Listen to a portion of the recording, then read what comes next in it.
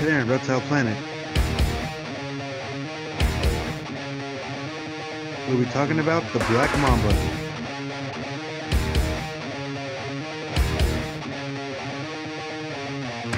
The Black Mamba can grow to around 8 to 14 feet long, making it the second longest venomous snake in the world.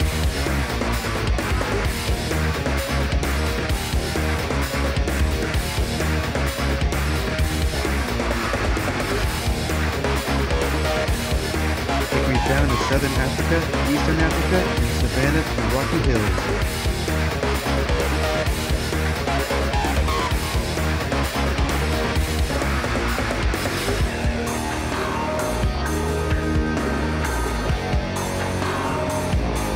Now for the question of the day. What is the deadliest snake in South America? A. The fer-de-lance. B. The bushmaster. Or C. The lancehead viper. Just like you on the video for the correct answer.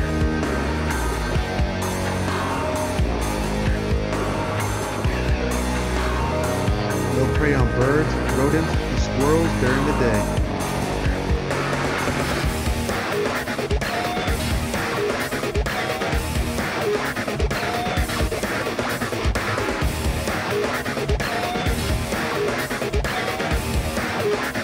Females will lay up to around 10 to 25 eggs.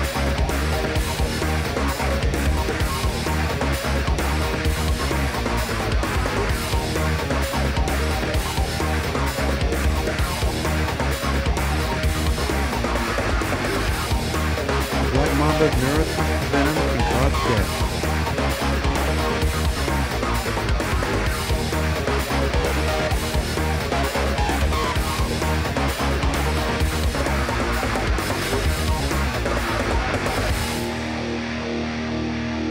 Now back to the question of the day. What is the deadliest snake in South America? If you guessed A, the fer-de-lance, you are correct. Good job.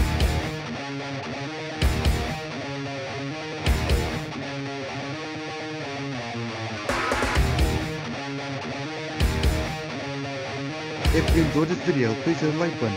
For any questions, post in the comments. Don't forget to subscribe. We'll see you next time. This has been Reptile Planet.